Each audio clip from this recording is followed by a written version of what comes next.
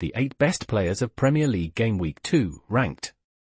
Game Week 2 of the 2024-25 Premier League season featured standout performances. Morgan Rogers impressed despite Aston Villa's loss to Arsenal. Danny Welbeck scored for Brighton against Manchester United. Erling Haaland netted a hat-trick for Manchester City.